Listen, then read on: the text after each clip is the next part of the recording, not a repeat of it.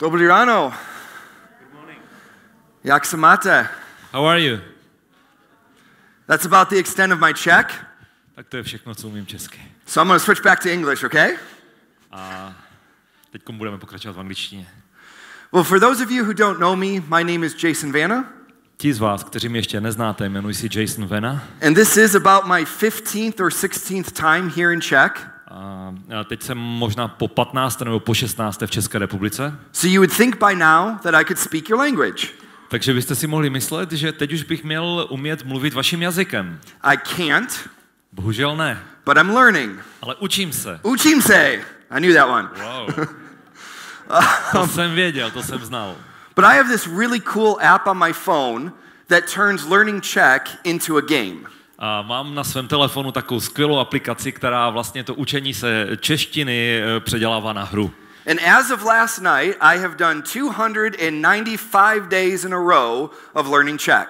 95. Oh, 295. A když jsem se podíval včera večer, tak jsem zjistil, že jsem se už bez přerušení učil 295 dní česky. Which I'm pretty proud of, A tak jsem na to celkem pišný. but I'm learning words that you all learned when you were like this big. Ale uh, učím se teď slova, které jste se vy učili, když jste byli asi takhle velcí. So it's really not that impressive. Takže to není až tak ohromující. But to my friends in America who don't know where Czech is at Ale my přátelé v Americe, kteří neznají ani slovo česky and who have never heard the Czech language before, a kteří nikdy dříve neslyšeli cokoliv v češtině, it is super impressive that I can speak another language. pro ně je to takové opravdu wow, o, že já umím mluvit uh, česky. I just don't ever want them to come here with me to see how little I know. A tak eh, každý, kdo by tady přišel se mnou z Ameriky, tak by viděl, jak málo toho vlastně ještě umím. So let me pray this morning and then we'll get into the word. A nejprve bych se chtěl modlit s vámi dneska ráno a pak půjdeme ke slovu. So, Father, we come before you this morning A tak, Otče, přicházíme dnes ráno k tobě and we just thank you for who you are. a děkujeme ti za to, kým jsi. I pray that you would open our ears to hear what you have to say A tak tě prosím, aby si uh, otevřel naše srdce a, a oči, abychom viděli to, co nám chceš říci. and that you would give us the courage to learn or to live out what we learn. A tak, aby si nám dal taky odvahu, abychom dokázali žít to, co se naučíme. Amen. Amen.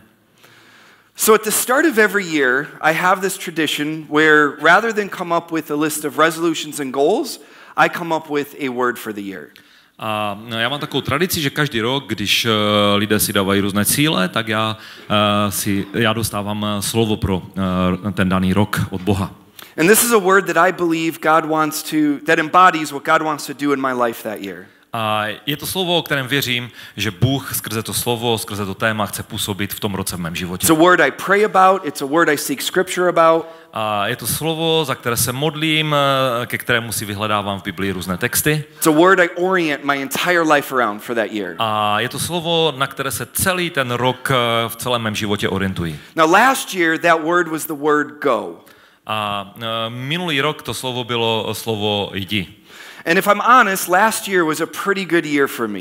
A abych byl upřímný, minulý rok byl opravdu dobrým rokem pro mě. God opened a lot of new doors of opportunity for me. A Bůh mi otevíral spoustu různých dveří a He příležitostí gave me new ministry opportunities. a dal mi nové možnosti služby. I got involved in a new church, A tak jsem začal pracovat i v nové církvi made new friends. a mám nové přátele z toho roku. My life had this idea of forward motion.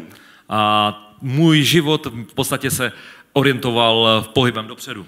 So when it came to pray about my word for this year, I was pretty excited. A když jsem eh, přišel do okamžiku, kdy jsem se chtěl modlit za slovo pro tento rok pro mě, tak jsem byl takový nadšený. A tak jsem si říkal, Bůh bude pokračovat v tom, v tom pokračování, bude pokračovat v tom pohybu dopředu se mnou v mém He's životě. to give me new opportunities. A bude mi dávat nové příležitosti. He's to open new doors for me. A bude mi otevírat nové dveře. It's to be a great year. A bude to krásný rok. But as as I started praying for the the word for this year, A když jsem se začal modlit za to slovo pro letošní rok, there was a single word that kept coming to me.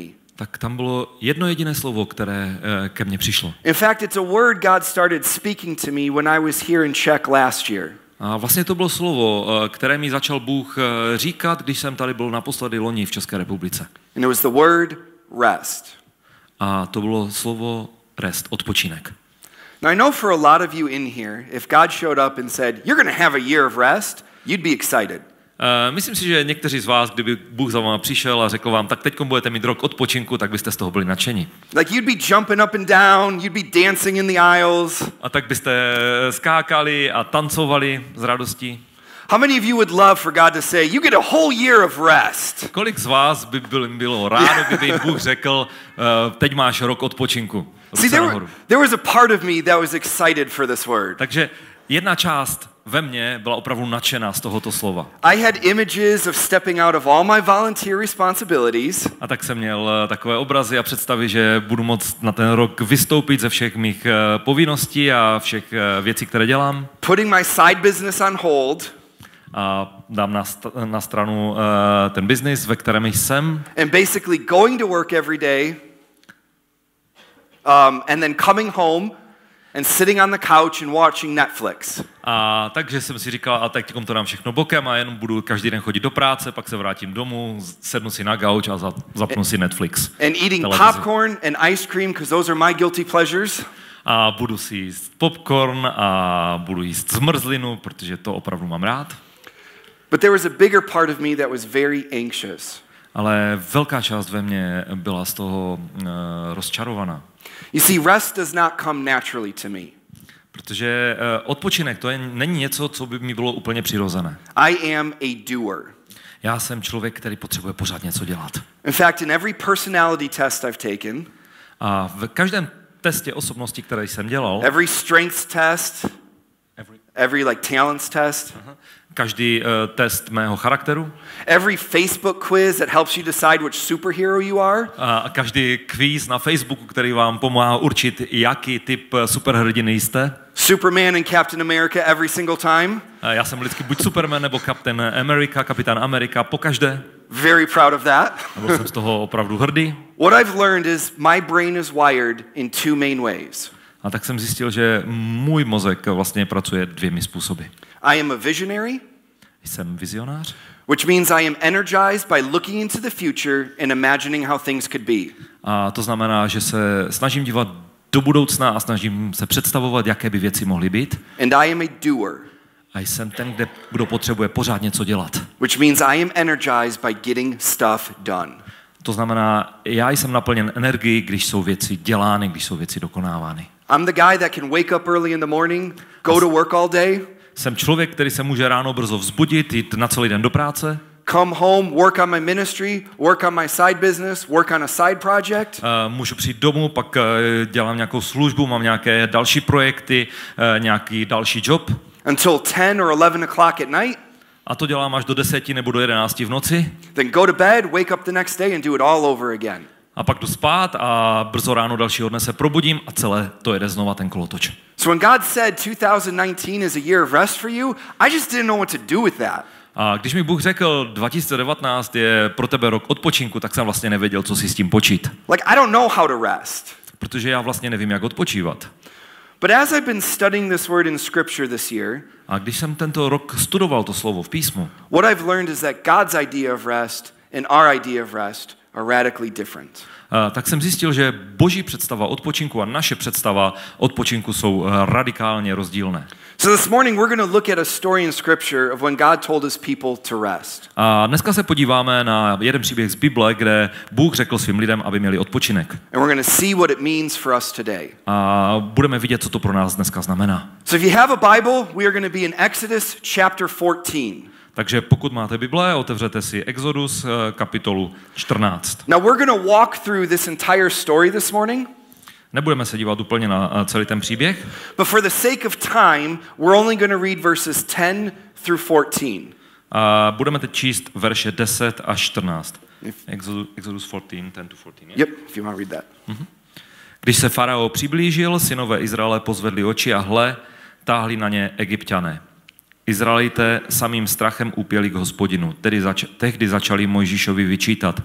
Nebylo snad v Egyptě dost hrobů? Proč jsi nás odtud vyvedl? Abychom zemřeli na poušti? Co jsi nám to udělal? Proč si nás vyváděl z Egypta? Neříkali jsme ti to už v Egyptě? Říkali jsme, nech nás být, ať otročíme Egyptu. Otročit Egyptu bylo určitě lepší, než zemřít na poušti. So I'm sure most of you Uh, know 14 or to 12? To 14. Oh, Sorry. Pardon, ještě dva verše. Mojžíš lidu odpověděl, nebojte se, zůstaňte stát a dívejte se, jak vás dnes hospodin zachrání. Jak dnes vidíte egyptiany, tak je už nikdy neuvidíte. Hospodin bude bojovat za vás a vy budete mlčet. So I'm sure most of you know this story. Uh, jsem si jistý, že většina z vás ten příběh zná. The children of Israel had been enslaved in Egypt for 400 years, Děti Izraele byly v otroctví v Egyptě po 400 let and they began crying out to God for freedom. a oni začali volat k Bohu a prosit o svobodu. So God raises up a deliverer in the way of Moses, A tak Bůh eh, postavil zachránce v postavě Mojžíše, who stands before Pharaoh and tells him to let the Israelites go. a který se postavil před faraona a řekl mu, nech Izrael jít. Pharaoh refuses, so God sends 10 plagues on the Egyptians. A samozřejmě faraon eh, řekl ne, a tak Bůh poslal deset egyptských hran na Egypt. At the end of the last plague, Pharaoh calls Moses before him, A nakonec přišel znova Mojžíš před eh, faraona and he tells him to take their wives, their children, their livestock, all their possessions, and get out. a přišel před Izrael a eh, řekl, že vlastně po té další ráně si vemou své děti, své, eh, své ženy, své stáda a půjdou. We don't want you in our country anymore. A eh, vlastně eh, faraon po té, po té ráně jim řekl, vemte si to a běžte, my už vás nechceme mít ve své zemi. So the Israelites plundered the Egyptians, A tak uh, Izraelité vlastně vyplundrovali Egypt and as they left, scripture tells us they were led by a pillar of cloud in the day and a pillar of fire at night. a když vyšli, tak byli vedeni uh, sloupem, eh, obla, oblakovým sloupem ve dne a ohnivým sloupem v noci. Now I want to show you the path that God led the Israelites on. A nyní vám ukážu vlastně tu cestu, tu stezku, po které Bůh Izrael vedl. Because when we understand where God led them, it adds a level of depth to this story. It, it adds more to this story. A když totiž pochopíme, jak je Bůh vedl, tak pochopíme více ten příběh. So when the Israelites lived in Egypt, they lived in this town named Goshen. A když Izraelité žili v Egyptě, tak žili ve městě, které se jmenovalo Goshen. This is where their homes were. Eh, To je místo, kde byl jejich This domov. this is where they kept their livestock. Tam vlastně oni žili své životy. This is where they went to when they were done working. A to je tam, když, kde se vraceli, když skončili svou práci. Now, if you see this orange line that kind of comes down and goes up this way, A když se podíváte na tu oranžovou uh, linii, tak vidíte, uh, kterým směrem vede. this was part of what was considered the major caravan route between the east and the west. A to vlastně byla hlavní stezka, která vedla mezi východem a západem. So if you wanted to go from, let's say, Egypt to Canaan, which is where God led the Israelites, A this is how you would go. Pokud byste chtěli jet eh, nebo jít z Egypta do Kanánu, to je eh, to místo, na které Bůh chtěl Izrael dovést, tak byste šli po té oranžové stezce.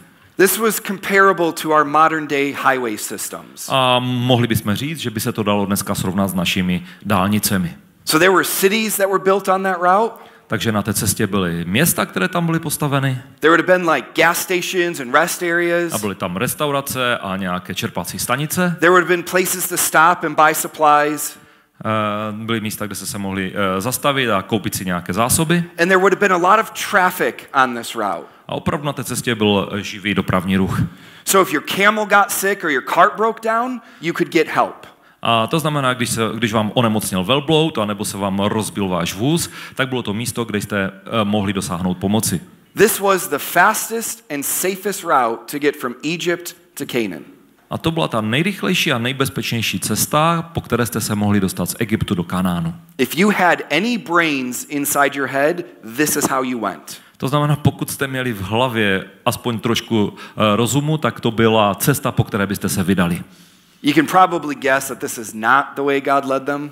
A asi si odhadujete, že to asi nebyla ta cesta, po které je Bůh vedl. In fact, if you can see all these green arrows coming down here, A když se podíváte na všechny ty zelené šipky, které tam běží po té mapě, this is where God leads the Israelites. tak to je cesta, po které Bůh vedl Izrael. He actually takes them deeper into Egypt, into what was called the wilderness of Egypt. Eh, Když se podíváme, tak vlastně ve skutečnosti je bral hlouběji do Egypta, do míst, které eh, byla pouští. And he brings them to this point right here on the edge of the Red Sea. A dovedl je až do toho bodu úplně dole na okraji Rudého moře. And Exodus 14 tells us that it's directly across the sea from Baal Zephon. A tak oni tam byli eh, na okraji eh, toho Rudého moře eh, na, na, naproti Baal Safan.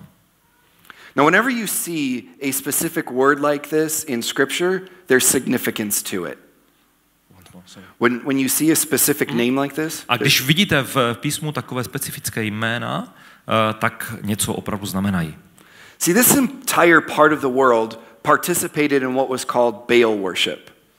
A eh, to je část světa, která se podílala na tom, eh, čemu se říkal, čem- čemu tenkrát vlastně svět říkal chvála Bálovi, vzdávali chválu Bálovi. And Baal worship was this system of different gods that people would bow down to and worship. A eh, vzdávání chvály Bálovi, to byl vlastně systém vzdávání chvály různým bohům, před kterými se lidé klaněli. And in this area, right across from the Red Sea, was where people worshiped the god Saphan. A tam eh, u toho Rudého moře eh, bylo místo, kde lidé uctívali boha Safana. And Saphan was considered the lord of the sea. A Safan byl považován za boha moře. Now, he was not an Egyptian god, Nebyl to egyptský bůh, but he was a god that the Egyptians would have reverenced and would have worshipped, a, ale byl to bůh, kterého egyptiané uznávali a taky mu vzdávali chválu. especially if they were fishing the Red Sea or trying to cross it. A speciálně to dělají v době, kdy jeli rybařit na Rudé moře, anebo se ho snažili nějakým způsobem překročit. They would have made their way to temple to offer a sacrifice for good fishing and for safe travel. A oni pak chodili do toho chrámu Safana a eh, tam eh, skládali oběti, aby mohli mít dobrý rybolov, anebo mohli bezpečně přejet přes moře. Now, when you read stories like this in Scripture, there's always multiple levels to every story. A když eh, čtete příběhy takového tohoto typu v Bibli, tak oni mají vždycky více vrstev. There's the surface level of what is physically happening. A na, nahoře je ten, ta povrchová úroveň, kde čteme, co se opravdu fyzicky stalo. In this story, it's that God is bringing the children of Israel out of Egypt. A v tomto příběhu je tím povrchem ten příběh, kdy Bůh vyvádí svůj lid z Egypta. But there's always another deeper level. Ale pod tím jsou schované další úrovně. It's why you can read the same scripture multiple times and get something out of it. To je vlastně ten, ta věc, proč můžete eh, místa Bibli číst eh, několikrát a vždycky se tam, tam najdete něco dalšího. See, while God was bringing the children of Israel out of Egypt, there was something else he was doing as well. A když Bůh vyváděl eh, svůj, svůj lid z Egypta, tak tam bylo něco dalšího, co on zároveň dělal. While he was bringing the children of Israel out of Egypt, he was also in the process of dismantling every other god that they worshipped. A v době, kdy eh, vyváděl svůj lid z Egypta, tak eh, vlastně byl taky v procesu zničení jakéhokoliv uctívání jiných bohů, které oni v té době dělali. Fact, if you look at the 10 plagues that God inflicted on the Egyptians, Když se podíváte na těch deset eh, ran, které Bůh uvedl na Egypt, every single one was a direct attack against one of their gods. každá z nich byla přímým útokem na některého z egyptských bohů. He was trying to show them that their gods were false. A snažil se jim, eh, hospodin skrze to ukázat, že jejich eh, bohové nejsou eh, praví. that their gods had no real power, Že opravdu nemají žádnou moc. and that he was the only God who was real, A že hospodin je jediným bohem, který je živý. he was the only God who had power. A že to je jediný Bůh, který má moc. And as he brings the children of Israel out of Egypt, there's one other God in this region he had to dismantle. A když je vyváděl eh, lid izraelský z Egypta, tak tam byl další Bůh, kterého potřeboval porazit. The God Saphan. A byl to Bůh Safan. So he brings the Israelites to this point right across from Zaphan's temple. A tak je dovedl až do toho místo přesně před chrám Boha Safana. And in Exodus 14, it tells us as they're in camp there, Pharaoh kind of comes to his senses. He, he realizes what he's done. Aha. A vlastně, když, eh, když je tam Bůh dovedl, tak oni vlastně eh, pochopili, co on dělá. He just let 600,000 free laborers leave his country. Eh, Faraon, faraon pochopil, co se stalo a uvědomil si, že vlastně v tuhle chvíli nechal odejít ze své země 600 tisíc pracovníků, pracovních sil. This would have destroyed their economy. A uvědomil si, že pokud oni odejdou, tak to zničí jeho ekonomiku. So scripture tells us that he gathered 600 of his best chariots, A tak eh, nám v písmo říká, že vzal eh, 600 svých nejlepších vozů and all the rest of his chariots, a všechny ostatní vozy all his soldiers, his footmen, and his officers, a všechny své vojáky, všechny své oficíry and he heads after the Israelites. a vyrazil za Izraelity. And as they get close and the Israelites see the army coming, they freak out. A když eh, se k ním přiblížil a Izraelité spozorovali tu armádu, která se na ně říčila, řítila, tak propadli eh, hrůze. Now, we tend to criticize the Israelites a lot for their lack of faith, Ehm, Asi nemůžeme moc kritizovat Izraelity za to, že měli příliš málo víry. but I'm gonna be honest. If the world's largest army at the time was coming after me to kill me, I would freak out a little bit too. Eh, Abych byl upřímný, kdyby ta největší armáda, která tenkrát na světě byla, přišla a jela směrem ke mně, aby mě zabila, tak bych asi byl taky celkem v hrůze. This would be like the American army surrounding your city, coming to kill you. Eh, Bylo by to tak, jako kdyby dneska americká armáda obklíčila tvoje město a přišla tam, aby tě zabila. I don't care how good you are with a gun. Eh, Je jedno, jak dobře umíš zacházet eh, se samopalem. I don't care how good you are at hiding. Eh, Je úplně jedno, jak dobře se umíš schovávat. I don't care if you're some secret ninja that can do backflips. A nevím, je- je to úplně jedno, kdyby si byl i velice dobrý ninja, který umí skákat a dělat salta dozadu. You're not surviving that. Tohle nepřežiješ. This is the situation the Israelites were in. A to byla situace, ve které se nacházel Izrael. The world's most powerful army at the time was surrounding them, ready to kill them. Ta nejsilnější armáda své doby je obklopila, obklíčila a byla připravena je zničit. So the Israelites turned to Moses and they're like, Is this why you brought us out of Egypt? A tak Izraelité přišli za Mojžíšem a řekli mu, to je ten důvod, proč si nás vyvedl z Egypta? Weren't there enough graves in Egypt for us? Nebylo v Egyptě dostatek hrobu pro nás? Did you want us to have a nicer death out in the desert? Chtěl si pro nás krásnější smrt tady na poušti? Was dying on the banks of the Red Sea more picturesque and more beautiful kind of death? A snad eh, umírání tady na pobřeží Rudého moře je nějakým způsobem krásnější? Like, we told you to leave us alone. My jsme ti říkali, nech nás na pokoji. We told you to let us stay in Egypt. Říkali jsme ti, nech nás v Egyptě. Now you're letting us die. A teď si nás přivedl na pokraj smrti. And this is where Moses stands up and tells them what we read earlier. A to je okamžik, ve kterém Možíš povstal a řekl eh, jim to, co jsme eh, před chvílí četli. The Egyptians you see today, you will never see again. Egyptiany, které dnes vidíte, už takto nikdy neuvidíte. The Lord will fight for you. You only need to be still. A Bůh bude bojovat za vás a vy máte pouze přihlížet a mlčet. Now, this phrase, be still, is translated in other parts of the Old Testament as the word rest. A to slovo budete mlčet je v jiném místě přeloženo ve starém zákoně jako slovo odpočívat. And it's a word that means to be silent, to be quiet, and to hold one's tongue. A je to slovo, které znamená uh, být v tichosti, mlčet, držet jazyk za zuby. To cease, to stop striving, to relax, and to rest. Uh, odpočívat, relaxovat, uh, přestat se starat. In other words, the army is surrounding the Israelites ready to kill them, A v jiných, jiným slovem, když je ta armáda obklopila, aby je zničila, and Moses stands up and says, Relax, it's going to be okay. a Mojžíš se postavil a řekl, hele, odpočívejte, to bude v pohodě. Now, I don't know about you. I would have gotten up and I would have punched Moses in the face. Eh, Nevím, jak vy, ale já kdybych tam byl, tak bych mu asi jednu vrazil. Like, there's an army here ready to kill me, and you want me to relax. Představ si, hele, Mojžíši se zbláznil, tady je armáda, která mě chce zabít a ty mi říkáš, abych odpočíval. Any of you think you could relax in that situation? Eh, Někdo z vás si myslí, že by dokázal odpočívat v takové situaci? You would just be like, oh, yeah, this is good. A tak byste si možná řekli, jo, je to dobrý. God's in charge, I'm to be fine. A Bůh se postará, já budu v pohodě. If that's the case, you should be preaching this morning. A v případě, že je to eh, váš případ, Because I- byste takto cílili, tak byste tady dneska ráno měli kázat. I don't have that level of faith. Protože já nemám takovou úroveň víry. I'd be the one back in the corner, like, I'm to die. Já bych byl ten, který byl úplně někde v rohu vzadu a řval by a umřu. I'm too young to die. Jsem příliš mladý na to, abych umíral. I'm too pretty to die. A jsem příliš krásný na to, abych umíral. I would be freaking out. Byl bych opravdu zhrozen. And Moses tells them to relax, A Mojžíš jim řekl, odpočívejte. to rest. Odpočívejte. Because you see, he understood that the words we speak have power. Protože eh, on chápal, že slovo, které my mluvíme, má moc. And he had 600,000 people saying, We're going to die. A měl před sebou 600 tisíc lidí, kteří říkali, My umřeme. That there's no way we're going to survive this. A není způsob, jakým bychom mohli být zachráněni. And he knew that our words have power.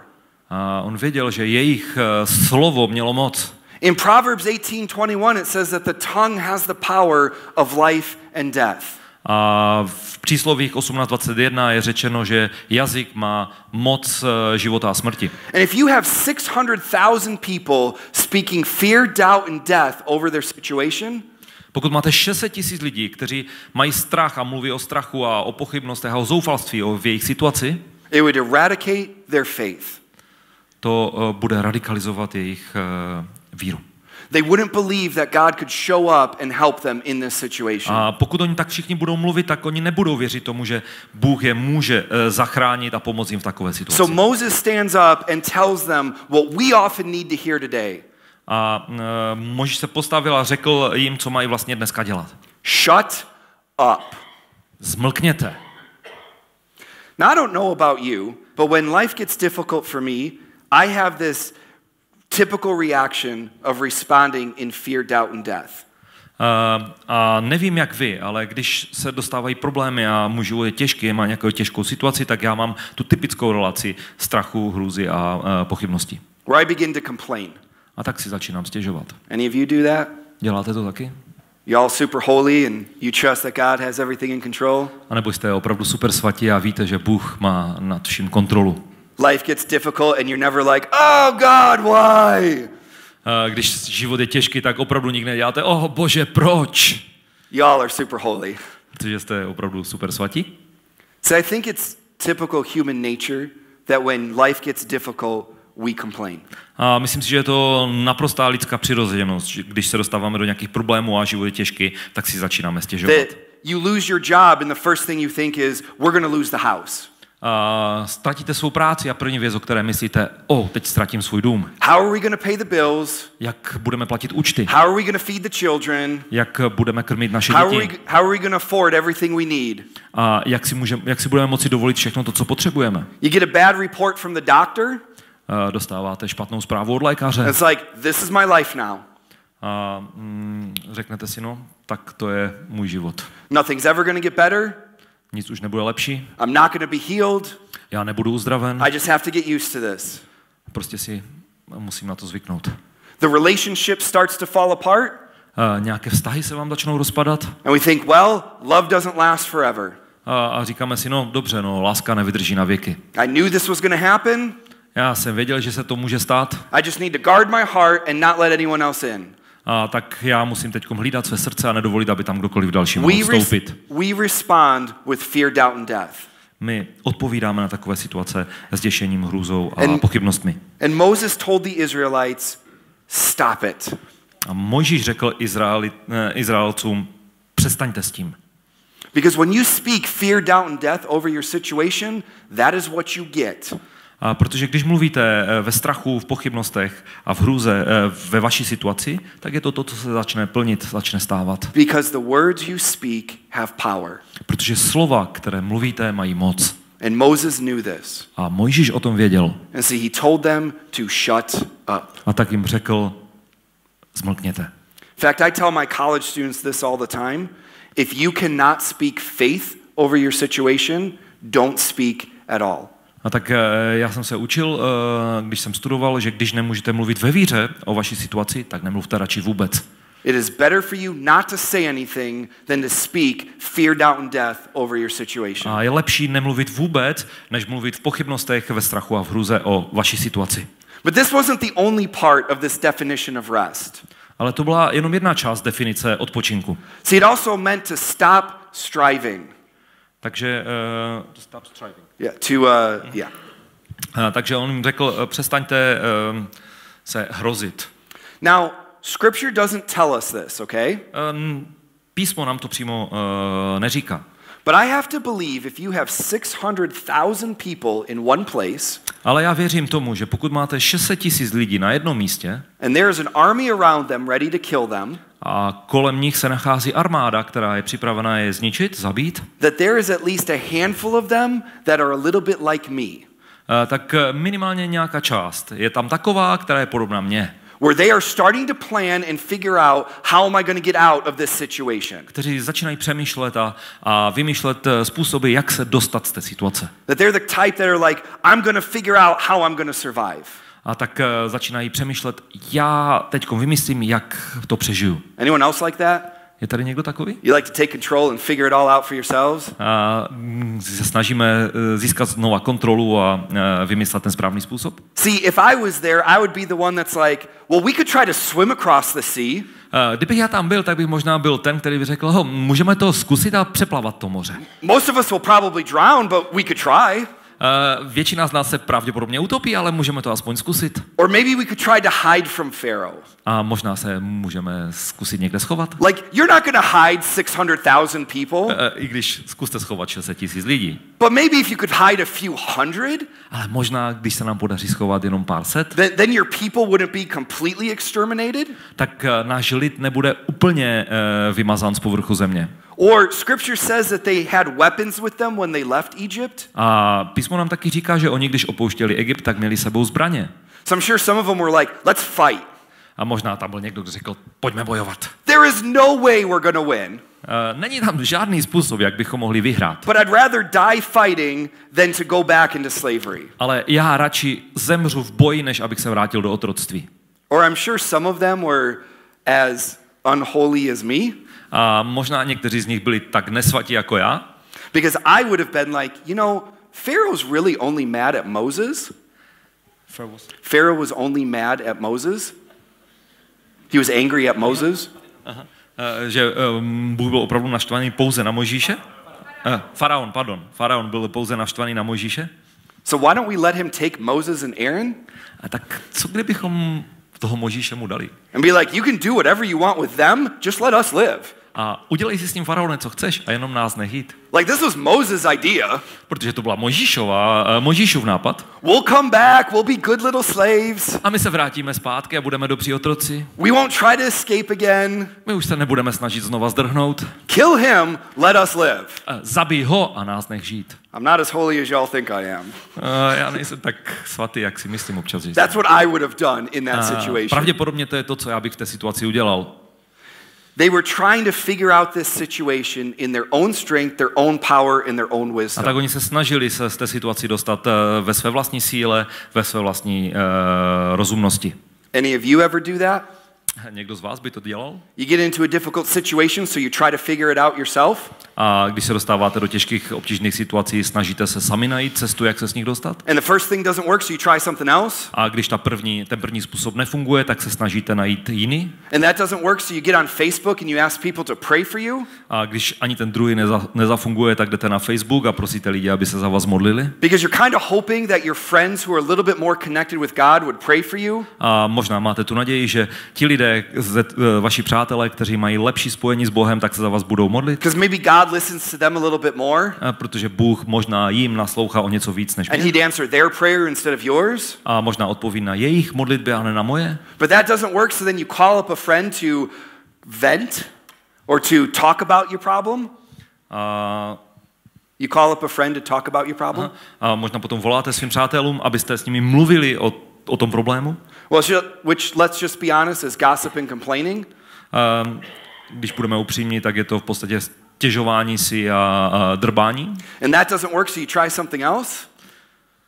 A když to, když, to, když to ani to nezafunguje, tak se snažíte zase najít jiný způsob. And that doesn't work, so you try something else again. A když ani to nezafunguje, tak hledáte další způsob. And it seems like no matter what you do, you cannot figure out this problem. A vypadá to, že ať zku- zkusíte cokoliv a děláte cokoliv, tak se z toho problému nedokážete dostat. Anyone else do that? Někdo z vás to tak dělá? See, Moses stood up and told them, tak- just stop it.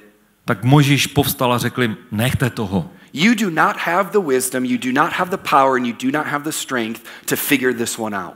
A řekl jim, vy nemáte ani moudrost, ani sílu, eh, abyste prostě vymysleli správný způsob. There, there is nothing you can do to make us survive this situation. Není nic, co byste mohli udělat, abyste v této situaci přežili.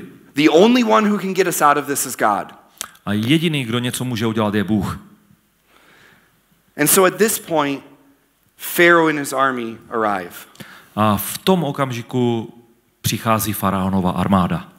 And I'm sorry, I have to go back. I forgot one thing. Uh, ještě se musím vrátit na jednu věc, jsem zapomněl. See, there is a third part to this idea of rest. A je tam ještě třetí část uh, toho chápání odpočinku. And it's understanding that God has a bigger plan in store. A je to pochopení toho, že Bůh má připraven větší plán. You see, God orchestrated this entire situation. Uh, vidíte, že Bůh vlastně připravil celou tu situaci. He's the one that led the children of Israel to the edge of the Red Sea. A on byl ten, kdo vedl uh, děti Izraele až na konec Rudého moře. He's the one that if, if, you would, if we would have started this story at, uh, at the start of Exodus 14, Kdybychom, 14, kdybychom začali ten příběh na začátku té 14. kapitoly Exodus, what you would have found out is that God actually pulls Moses aside and he tells him, I'm going to harden Pharaoh's heart so he pursues you. a, a tak uh, vlastně mu řekl na začátku, uh, Možíšovi dal ho na bok a řekl mu, já teďkom zasáhnu faraonovo srdce a on vás bude pronásledovat. The whole fact that the Egyptian army was surrounding them was God's doing. A ten fakt, ten důvod, proč je obkličila ta armáda egyptská, bylo to, že uh, to, co Bůh dělal. He orchestrated this entire situation. A on připravil celou tu situaci, Bůh. He put them against the Red Sea. Eh, Přivedl Izrael na konec eh, Rudého moře He had the Egyptian army come after them. a nechal přijít egyptskou armi, armádu, aby je pronásledoval. This was all God's doing. A to bylo všechno, co způsobil Bůh. But if you continue to read what God told Moses, A když budete pokračovat a budete číst, co Bůh řekl Mojžíšovi, he says, I did all this so everyone could see my glory. a tak mu řekl, já jsem to všechno učinil, aby každý mohl vidět mou slávu. And so the Egyptians arrive. A tak egyptiané přijeli. And I think Pharaoh is kind of excited by what he sees A já si myslím, že faraon byl nadšený z toho, co právě viděl. Because the Israelites are up against the Red Sea. Protože Izraelci stojí na kraji uh, Rudého moře. And in his mind, if they try to cross the Red Sea, the god Safan is going to kill them. A podle jeho představ, pokud oni by se snažili překročit to Rudé moře, tak ten bůh Safan je zabije. And if they don't cross the Red Sea, his army is going to kill them. A pokud oni nebudou se snažit přejít přes Rudé moře, no tak je zabije jeho armáda. Either way, he's going to win. To znamená, v každém případě faraon zvítězí. So he gets there, and scripture tells us that this pillar of cloud that led the Israelites moved to behind them. A když se tam přiblížili a faraon tam přišel, tak je napsáno, že ten eh, sloup, eh, oblakový sloup, který vedl Izrael, je vlastně se postavil mezi ně. And it created kind of a wall between the Israelites and the Egyptians. A vytvořil určitý, eh, určitou zeď mezi Egyptiany a Izraelci.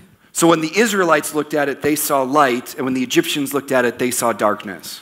To znamená, když Izraelci se na něho podívali, tak viděli světlo, které osvětlovali, a když se podívali na ten sloup Egyptiany, tak viděli tmu. And it kept them separated all night long. A tak ten eh, sloup je držel oddělený po celou noc. And then God looks at the Israelites and is like, What are you doing here? Get moving. A uh, tak uh, to vypadalo, že říká Izraelcům, co tady děláte, pokračujte.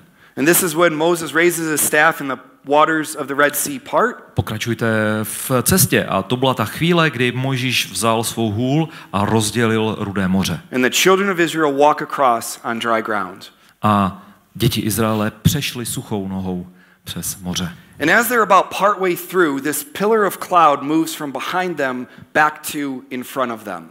A v tu chvíli eh, ten oblak se přesunul zase eh, z té části, kde je odděloval od armády předně a vedl je. And Pharaoh sees that the Egyptians are, or the Israelites are walking across on dry ground. A eh, v té době vlastně oni procházeli přes moře a dos- dosáhli druhého břehu. And I'm sure in his mind, he's like, This is great. A tak jsem si jistý, že v, je- v, jeho, v Mojžíšově, eh, Mojžíšově myšlení to bylo něco jako, to je super. Ve faraonově, ve faraonově myšle- myšlení to bylo, to je super, pardon. The god Safan is messing with them. A říkal si, a teďkom ten bůh Safan si to s nima vyřídí. He's given them hope that they're going to escape. Ale on si s nima hraje, teďkom jim dává jenom naději, že nám můžou utéct. So he sends his army after the A Israelites. tak si říkal, teď tam pošlu svoji armádu a ukážu jim, jaká je And as the, skutečnost. as the Israelites get to the other side, scripture tells us that God looked down from this pillar of cloud A tak vidíme, že když Izraelité přešli to moře, tak je napsáno, že Bůh se podíval z toho oblakového sloupu and he began to frustrate the plans of the Egyptians. a začal děsit a rozbíjet ty plány egyptianů. He like caused their chariot wheels to stop. A Začali se jim lamat kola na těch, na těch vozech, He spooked, blokovali se. he spooked their horses so they ran into each other. A způsobil to, že jejich koně naráželi do sebe. And the, the Egyptians realize that the God of the Israelites is fighting against them. A v tu chvíli se egyptiané uvědomili, že Bůh Izraele bojuje proti nim. And this God Safan is doing nothing to help them. A že Bůh Safan, Bůh moře, nedělá nic pro to, aby jim pomohl. So they turn around and they start heading out of the Red Sea. A tak oni se otočili a chtěli utéct z toho Rudého moře. A v tu chvíli uvolnil Bůh eh, to moře, to rozdělené moře a zničil celou egyptskou armádu. You see, in a matter of minutes, God destroyed the most powerful army on the planet. Tady vidíme, jak během několika minut Bůh zničil nejmocnější armádu, která v té době na zemi byla. And this is something that the entire region of the world would have heard about. A to je něco, o, cel, o o čem celý tehdejší svět uslyšel. That the God of the Israelites destroyed the entire Egyptian army like that. Že Bůh Izraele ro, eh, zničil celou eh, egyptskou armádu takovýmhle způsobem. And this was his goal in this whole situation. A to bylo božím plánem v celé té situaci. Was so that everyone would see his glory. Aby každý uviděl jeho slávu. That the people in this region of the world would recognize that he is the most powerful God that ever existed. Aby lidé v té oblasti pochopili a poznali, že on je nejmocnějším bohem, jaký kdy ex- existoval. That he could entirely destroy the world's largest army like that. Že dokáže zničit během několika minut tu největší, nejsilnější armádu světa See, tímto the, způsobem. the gods of the Egyptians were considered the most powerful gods in this region.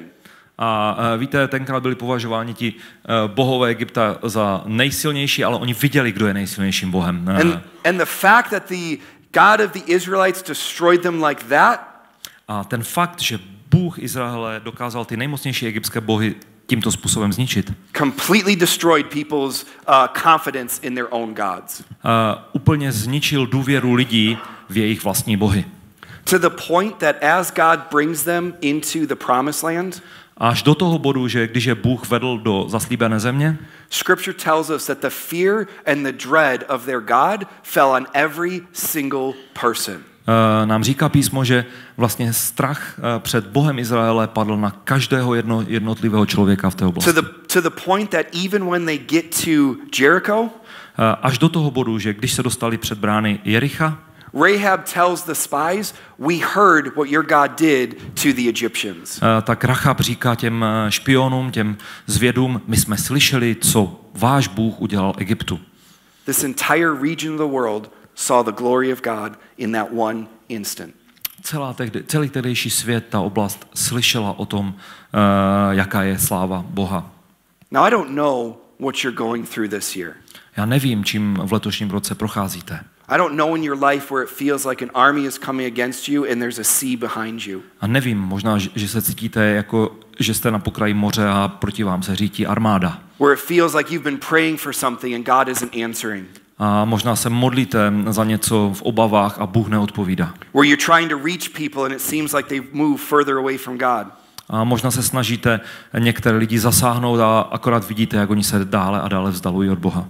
But what we learn about what it means to rest in God Ale to, co jsme se naučili, co to znamená odpočívat v Bohu, is that He orchestrates every situation you go through for His glory. je to, že On připravuje každou situaci, kterou procházíš ke své vlastní slávě. And that resting in Him means you stop speaking fear, doubt, and death. A odpočívat v něm znamená, přestaneš mluvit v obavách, ve strachu a v hrůze. That when difficulties come, you stop complaining. A když přichází problémy, přestaneš si stěžovat. That you stop trying to figure it all out on your own.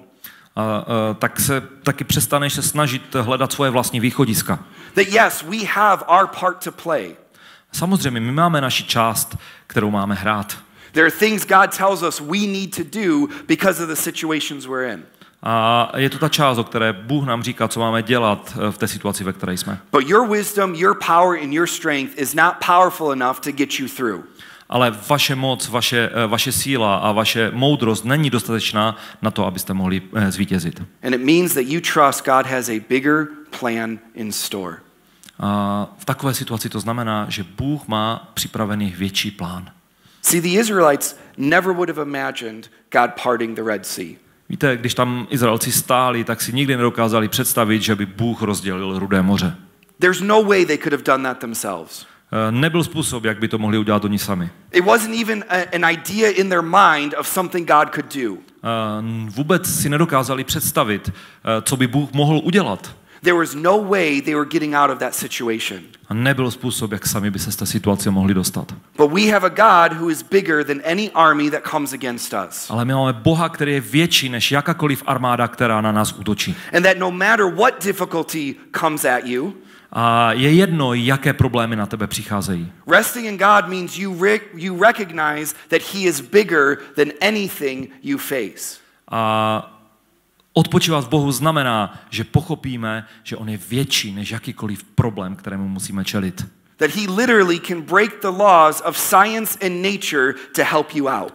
Protože on doslova může zlomit eh, práva vědy a přírodních zákonů tak, aby nám pomohl. This is what it means to rest in Him. To je to, co znamená odpočinout Bohu. That you stop trying to do it on your own. Že přestanete se snažit eh, svými vlastními silami dostat z problému. A je mi úplně jedno, jak jste chytří. you are not smarter than God. Nejste chytřejší než Bůh. And He knows what He's doing. A on ví, co dělá. You realize He never would have brought the Israelites to that point if He was not powerful enough to get them through. Uh, uvědomujeme si, že by nikdy nezavedl Izraelce do toho bodu, kdyby neměl dostatečnou moc, aby je dokázal provést tím problémem. God wouldn't have brought them there and then been like, oh no, the Egyptian army is too powerful for me. I'm sorry. Eh, Bůh by je tam nepřivedl a pak v té situaci by neřekl, oh, eh, ale ne, ta egyptská armáda je na mě příliš silná, pardon, omlouvám se. We, we kind of laugh, but that's how many of us feel when we go through our own situations. Eh, Můžeme se tomu usmát, ale je to přesně to, jak my se cítíme, když procházíme těžkými situacemi. God, why are you doing this to me? Bože, proč, proč mi to děláš? How are you going to figure this out? Jak si to mohl dopustit? How am I going to get through? Jak, jak, jak tím mám projít? He knows what he's doing. On ví, co dělá. In fact, I tell my students this all the time. If God brought you into the situation, he already knows how he's going to get you out. A to je to, co říkám mým studentům často. A říkám jim, když tě Bůh dovedl do té situace, on, That- taky, on taky ví, jak tě vyvést ven. That's the free version of this sermon. To je ta uh, free? Free. Aha. To je ta volná verze toho, uh, toho kázání. If you want, if you want the $5 version, Pokud byste chtěli uh, verzi, která stojí 5 dolarů, God already had it figured out from the beginning of time and just hadn't manifested yet. A Bůh o tom věděl, co udělá už od začátku času a teď to teprve demonstroval. Before he even created the universe, he knew how he was going to get the Israelites out of that situation. Ještě dříve, než tvořil svět, tak už věděl, jak dostane v té situaci eh, Izraelce bezpečně, nebo do bezpečí. But that's a whole nother level of depth that some of you aren't ready for yet. Ale to je jiný level, na který ještě někteří z vás nejsou připraveni. God knows what he's doing. Bůh ví, co dělá. In fact, if you look at Romans 8:28, Když se podíváte do Římanům 8.28, Paul says that God works everything out for the good of those who love him. eh, je napsáno, že Bůh eh, činí všechno dobré pro ty, kteří ho milují. See, everything you go through is for your good and for his glory. A takže všechno, čím procházíte, je pro vaše dobro a pro jeho slávu. See, when he allowed the Israelites to go through this situation, Takže když Bůh dovolil Izraelcům, aby se dostali do té situace, not a single one of them wanted to go through it. ani jeden z nich by nechtěl tou situaci procházet. But God used it so that an entire region of the world would see his glory. Ale Bůh to použil, aby celý tehdejší svět viděl jeho slávu. Everything you go through, Všechno, čím procházíš, both good and bad, to dobré i to zlé, blessing and struggle, požehnání i obtíže. It all is for his glory. To všechno je pro jeho slávu. That he is using it to draw other people to him.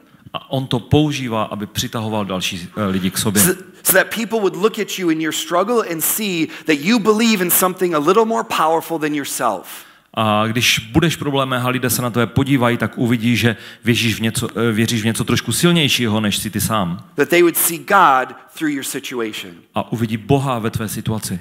Both good and bad. V dobrém i ve zlém.